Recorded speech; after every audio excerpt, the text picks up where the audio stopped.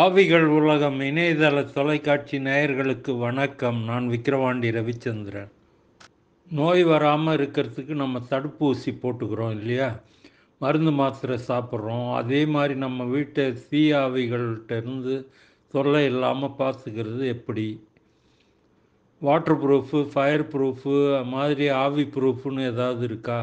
ஆவிகள் நம்ம வீட்டை அண்டாமல் தடுக்கிறதுக்கு என்னென்ன செய்வாங்க? அந்த எப்படி தடுப்பு வேலைகள் முன்னேற்பாடுகளை செய்வாங்க அவங்களுடைய வழிமுறைகள் என்ன அவங்கன்னா யார் ஆவி ஆராய்ச்சியாளர்கள் உலகம் முழுக்க என்ன நம்பிக்கைகள் இருக்குது என்ன வழிமுறைகள் இருக்குது அதைத்தான் இந்த எபிசோடில் சொல்ல போகிறேன் முதல்ல நம்ம முகம் பார்க்குற நிலை கண்ணாடி அல்லது முகம் பார்க்குற உதவுற சின்ன கண்ணாடிக்கு வருவோம். கண்ணாடியை கண்டுபிடிச்ச காலத்தில் இருந்தே அதுங்களுக்கு ஏதோ ஒரு வகை மந்திர சக்தி இருக்கிறதா உலகம் முழுதும் நம்பப்பட்டு வருது. அதுலேயும் குறிப்பாக ஆவிகள் ஒரு வீட்டுக்குள்ளே நுழைய வைக்கிற நுழைவாசலாக பயன்படுவது இந்த கண்ணாடிகள் தான் அப்படின்னு சொல்லப்படுது. கண்ணாடிகளை அமானுஷ உலகத்தோட வேறு வேறு பரிமாணங்களுக்கான வாசல்கள் அப்படின்னு சொல்கிறாங்க அதனால் ஆவி ஆராய்ச்சியாளர்கள் அவங்க வீடுகளில் கண்ணாடியை மாற்ற போது கனகச்சிதமாக செயல்படுவாங்க. கண்ணாடி ஒரு வீட்டில் சரியான இடத்துல சரியான கோணத்தில் இருக்கணும். அப்படி இருந்தால் வேண்டாத விருந்தாளிங்க யாரும் வீட்டுக்குள்ளே வரமாட்டாங்க. வேண்டாத விரு விருந்தாளிங்கன்னு இங்கே நான் சொல்கிறது யாரை குறிப்பிடுறதுன்னு உங்களுக்கே புரிஞ்சிருக்கும். ஆவி ஆராய்ச்சியாளர்கள் ஒரு வீட்டில் இருக்கிற நேர்மறையான அதாவது பாசிட்டிவ் எனர்ஜி வீட்டோட எல்லா பகுதிகளுக்கும் பாயிற மாதிரியான இடத்துல நிலை கண்ணாடியை நிறுவுறாங்க. இயற்கையான ஒளி கண்ணாடியில் பட்டு அது வீட்டோட இருட்டு மூலையை முடுக்கு எல்லாமே வந்து பரவணும். அது ரொம்ப நல்லது அப்படின்னு சொல்லப்படுது. அதனால் வீட்டுக்குள்ளே நல்ல பாசிட்டிவ் சூழ்நிலை ஏற்படும். நிலை கண்ணாடியை சரியான இடத்துல சரியான கோடத்தில் பொறிச்சிட்டா அது தீயாவிகளை கண்டிப்பாக வீட்டுக்குள்ளே வர விடாமல் தடுத்து நிறுத்திடும். ஓசைகளுக்கும் ஆவிகளுக்கும் ரொம்ப நெருக்கம் உண்டு. ஆவிகளுக்கு மெல்லிய ஹஸ்கி வாய்ஸில் பேசுகிற சத்தம் ரொம்ப பிடிக்கும். மு- அதாவது முணுமுணுப்பாக பேசுகிறது அது புரிஞ்சும் புரியாமல் தூரத்தில் இருந்து பேசுறது காதுக்கு பக்கத்தில் இருந்து திடீர்னு எதையாவது சொல்லிட்டு போகிறது இதெல்லாம் தீயாவிகளுக்கு ரொம்ப பிடிச்ச விஷயம். சில வகை சத்தங்களை ஆவிகளுக்கு எப்படி பிடிக்குமோ அதே மாதிரி சில வகை சத்தங்களை ஆவிகளுக்கு பிடிக்கவே பிடிக்காது. அதாவது அதுதான் மந்திரங்கள். அதாவது தெய்வீக மந்திரங்கள் எப்போவுமே வீடு முழுக்க நல்ல அதிர்வுகளை ஏற்படுத்தும். கெட்ட சக்திகளை அண்ட விடாது. அதே மாதிரி மணி ஓசை சங்கு ஊதுற சத்தம் இதெல்லாம் கூட ரொம்ப நல்லது. வீட்டுக்குள்ளார ஒலிக்கிற இந்த மங்களகரமான ஒலிகள் எதிர் சக்திகளை கேட்டு போட்டு தடுத்துரும். இந்த ஒலி ஓ- எந்தெந்த வீடுகளில் கேட்கப்படுதோ ஒலிக்குதோ அந்த வீடுகள் தங்களுக்கு இடமில்லை அப்படின்றது தீய ஆவிகள் புரிஞ்சுக்கும். அந்த இடம் ஆவிகள் நடமாடக்கூடாத பகுதின்னு அவங்களுக்கு புரியும். அதே மாதிரி ஒரு வீட்டில் பிரார்த்தனைகளுக்கு பிறகு பாத்திரங்களை கரண்டியால் அடித்து ஒலி எழுப்புறது உண்டு. இது தீயாவிகளை வரவிடாமல் செயல்பட விடாமல் பயமுறுத்தி விரட்டும் அப்படின்னு நம்பப்படுது. நம்ம ஊரில் போ போகி பொங்கல் அன்றைக்கு ம அடிப்பாங்க பாருங்கள் மத்தளம் மாதிரி வச்சுக்கிட்டு ஓசை எழுப்புவாங்களே அதுவும் இந்த அடிப்படையில் செய்யப்படுறது தான். மஞ்சள் தூள் சமையலுக்கு பயன்படுத்துகிற பொருள்னு நம்ம நினச்சிக்கிட்டு இருக்கோம். ஆனால் மஞ்சள் தூள் தீயாவிகளுக்கு எதிரான ஒரு சக்தி வாய்ந்த தடுப்பு காவலாளி அப்படின்றது பல பேருக்கு தெரியாது. மஞ்சளை சாப்பிட்றது கூட கெட்ட ஆவிகளுக்கு எதிராக நம்ம செயல்பட உதவி செய்யும். மஞ்சள் தூள் மனிதர்களோட உடலையும் மனசையும் சுத்தப்படுத்தும். தீயாவிகள் எதையும் உங்கள் உடம்புல ஒட்டிக்க விடாமல் தடுக்கும். இந்த அடிப்படையில் தான் நோய் எதிர்ப்பு சக்தின்னு சொல்லிட்டு உலகம் முழுக்கும் சமையலில் மஞ்சள் தூள் சேர்க்குற வழக்கம் இரு- இன்னைக்கு வரலும் இருக்குது தொடருது. மஞ்சள் தூளை உப்போட கலந்து வீட்டில் நாலு மூலைகள்லையும் தூவினா அது ஆவிகளுக்கு தடைக்கல் மாதிரி ஆகிடும் மாதம் ஒரு முறை இந்த இது உப்பு மஞ்சள் தூளை தூவிக்கிட்டே வாங்க. தூவன உப்பு எப்போவுமே அந்த இடத்துல கொஞ்சம் இருக்கிற மாதிரி பார்த்துக்கோங்க. இந்துக்களுடைய வீடுகளுக்கு போனீங்கன்னா பெரும்பாலான வீடுகளில் விநாயகர் படம் கதவில் வந்து வாசல் கதவில் ஒட்டியிருக்கும். விநாயகர் படம் ஏதோ ஒரு வகையில் இடம்பெற்றிருக்கும். இல்லைன்னா வைஷ்ணவர்களுடைய வீடுகளுக்கு போனீங்கன்னா நாமம் சங்கு சக்கரம் ஸ்டிக்கரோ அல்லது ஒரு எழுத்துக்களாலேயோ இருக்கும். ஸ்ட்- உலோகத்தாலையும் சில வீடுகளில் ஒட்டப்பட்டிருக்கிறது நான் பார்த்துருக்கேன். அதே மாதிரி விபூதி பட்ட மாதிரி ஒரு சின்னங்கள் இருக்கிறது உண்டு. கிறிஸ்தவர்களுடைய வீடுகளுக்கு போனால் சிலுவையோ அல்லது இயேசுநாதர் படமோ அல்லது மாதாவுடைய படமோ இருக்கும் வாசல் கதவில். இஸ்லாமியர்களுடைய வீடுகளுக்கு போனீங்கன்னா அரபி வாசகங்கள் அடங்கிய ஸ்டிக்கர் ஒட்டப்பட்டிருக்கும். இதெல்லாம் வந்து வெறும் நம்பிக்கைகளோ ஒரு அழகுக்காகவோ செய்கிறது இல்லைங்க. இந்த மத சின்னங்களை வாங்கி மாற்றுறது வெறும் அலங்காரத்துக்கு இல்லைங்க. தீயாவிகளை வீட்டில் நுழையாமல் தடுக்கிறதுக்கு தான் மத சின்னங்கள் அங்கங்கே மாட்டி வைக்கப்படுது. கதவுகள் சுவர்கள் ஜன்னல்களுக்கு மேலே மத சின்னங்கள் மாட்டு வைச்சா அது தீயாவிகளுக்கு எதிராக சிறப்பான தடையாக இருக்கும். பொதுவாக ஐந்து முனை நட்சத்திரம் அப்படின்றது சாய்சானோட சின்னமாக பார்க்கப்படுறது வழக்கம். ஆனால் உண்மையில் பென்டாகிராம் அப்படின்னு சொல்லப்படுற இந்த ஐந்து முனை நட்சத்திரம் தீயாவிகளுக்கு எதிரான ஒரு எச்சரிக்கை பலகை மாதிரி இந்த வீட்டை விட்டு நீ விலகிரு அப்படின்னு தீயாவைகளுக்கு சொல்லாமல் சொல்கிற சின்னம் தான் இந்த பென்டாகிராம்ன்ற ஐந்து முனை நட்சத்திரம். அதே மாதிரி வீட்டு தலைவாசல் கதவில் நீல நிறத்தில் கண் படுத்த வைக்கிறதும் கூட தீயாவிகளுக்கு எதிராக நல்லா வேலை செய்யும். அப்படி கதவில் மாட்டியிருக்கிற அல்லது ஒட்டப்பட்டிருக்கிற வரையப்பட்டிருக்கிற நீல நிறமான கண் வர்ற தீயாவிகள் சக்திகளை வாசலோடு அப்படியே திருப்பி அனுப்பிடும்.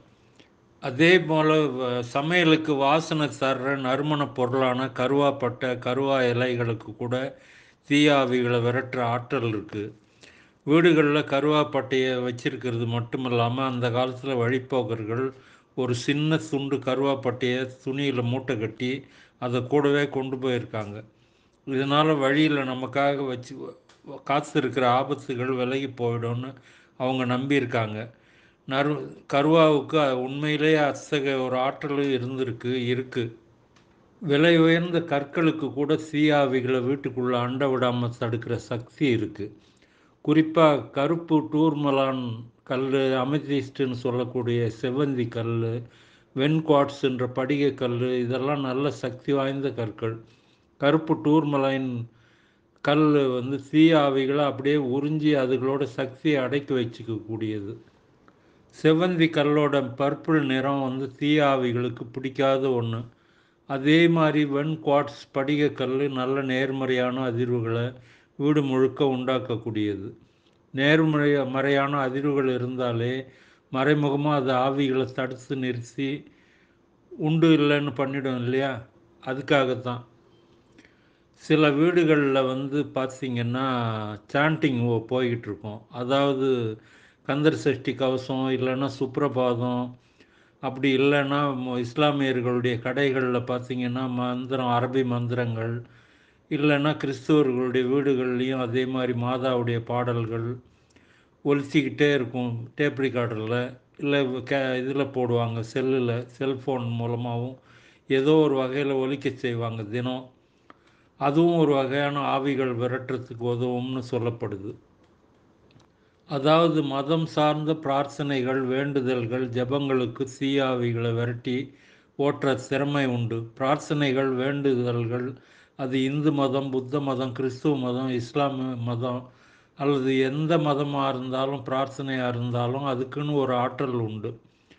அந்த வகையில் எந்த மத பிரார்த்தனையாக இருந்தாலும் அது தீயாவிகளுக்கும் நன் நமக்கும் நடுவில் ஒரு எல்லைக்கோட்டை போட்டு தடுத்து நிறுத்திடும் மத பிரார்த்தனைகளில் இடம்பெற்றிருக்கிற சொற்களுக்கு ரொம்ப பெரிய ஆற்றல் உண்டு.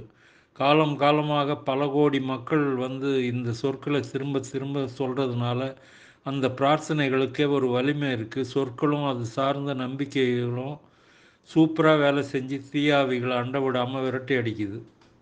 அதே மாதிரி பார்த்திங்கன்னா மேற்கு நாடுகளில் மே வீட்டு வாசலில் குதிரை லாடத்தை தொங்க விடுற பழக்கம் இருக்குது இது பல நூற்றாண்டு காலமாக இருந்து வர்ற நம்பிக்கை. குதிரை லாடத்தில் அப்படி என்ன தான் இருக்குது பவர் அப்படின்னு கேட்பீங்க குதிரை லாடம் இரும்பில் செய்யப்படுது. இரும்புன்ற உலோகம் சீயாவிகளை செயல்பட விடாமல் தடுக்கிற ஒரு உலோகம். அது மட்டும் இல்லை குதிரை லாடத்தோட வடிவம் சீயாவிகளை செயல்பட விடாமல் தடுக்கிற வடிவமாகும். குதிரை லாடம் பிறைநிலா வடிவத்தில் இருக்கும். பிறைநிலான்றது தேய்ந்து வளர்கிற நிலவை குறிக்குது. புதுப்பிச்சு மறுமலர்ச்சி அடையிறத கு குறிக்குது. அதோடு குதிரை லாதம் லாடம்ன்றது அதிர்ஷ்டத்தை குறிக்கிற ஒரு சின்னமாக ஐரோப்பிய நாடுகளில் கருதப்படுது.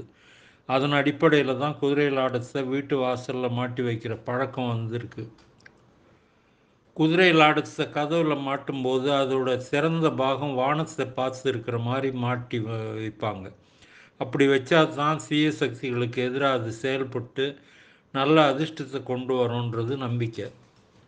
வீட்டுக்குள்ளார சாம்பிராணி போக போடுறது கூட ஆவிகளை நெருங்க விடாமல் விரட்டுற அட்டகாசமான தடுப்பு முறை தான் தீயாவிகள் நம்ம வீட்டுக்குள்ளே வர விடாமல் தடுக்கிறதுக்கு இன்னும் சில வழிகளையும் சொல்கிறாங்க வீட்டில் பழைய எதிர்மறையான சினிமா பட டி டிவிடிகள் இசைத்தட்டுகள் கேசட்டுகள் இருந்தால் அது கூட தீயாவிகளை வரவேற்கிற சிவப்பு கம்பளம் மாதிரி ஆகிடும் அதனால் அந்த மாதிரி இப்போ எதிர்மறை பொருட்கள் இருந்தால் தூக்கி எறிய சொல்கிறாங்க ஆவி ஆராய்ச்சியாளர்கள்.